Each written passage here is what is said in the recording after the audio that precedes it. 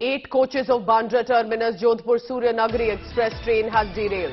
Eight coaches of this Jodhpur train has derailed right now as we are being uh, told of new information coming in. At least 10 people have seriously been injured.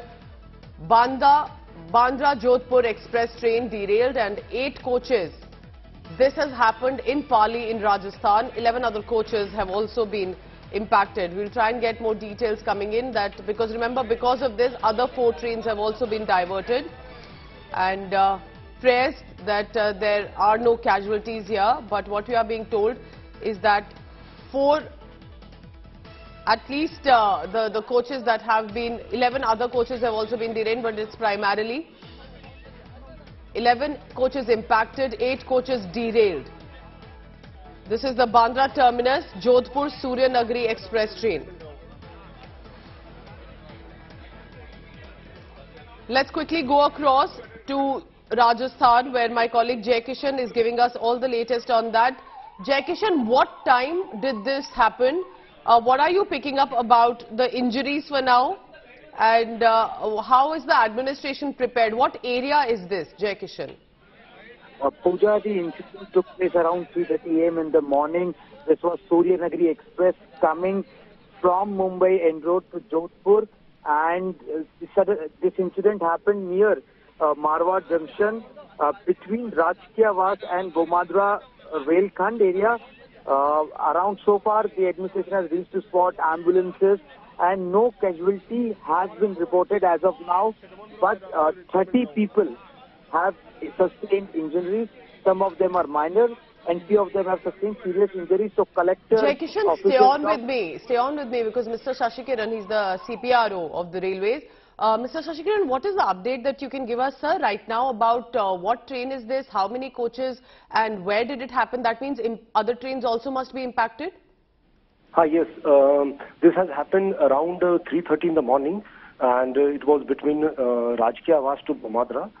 Uh, uh, almost uh, 11 coaches have been affected, which means the coaches were partially got off from the track and uh, the good uh, uh, there is no casualty to the passenger. Yes. And there were minor injuries to few passengers for which uh, they were immediately taken to the uh, nearest hospital. Uh, the officials, the division officer, railway officials have reached to the site. We have this accident relief management train that has also reached to the site. The rescue relief rescue work is on full swing. And we have also arranged the buses for the stranded passengers to take them to the, their destination. Also, the front portion of the train uh, has also been taken towards the Jodhpur side, wherein the uh, passengers have been accommodated to uh, so that they can reach to their destination. And uh, we have released the helpline numbers uh, uh, for this, which is I request you to flash those sure, numbers we'll to the, it, the screen. We'll do, we'll do, do it right away. Captain Shashikiran, what, uh, uh, any, any prima facie uh, causes or what led to this sudden derailment? Could it be the fog in that area, any other technical issues uh, with the track, any problem? Uh, what exactly led to the derailment? That is yet to be established. Actually, our main focus is right now on the uh, rescue and relief operations. So that will be the part of the inquiry and that will be established. however, our focus is now to give relief, immediate relief to the passenger to make them reach to the destination and also arranging the buses for their uh, fooding, everything arrangement. And then uh, we are also looking into that uh, how I mean uh, the uh, the services uh, traffic can be restored to once again because we have now cancelled two trains and the 12 trains have been diverted from this route. All right. Uh, uh, uh, also, uh, Captain one final question. So, how are we expecting the rail route now to uh, resume also? Because at this point, of course, one, it will be about the rail route.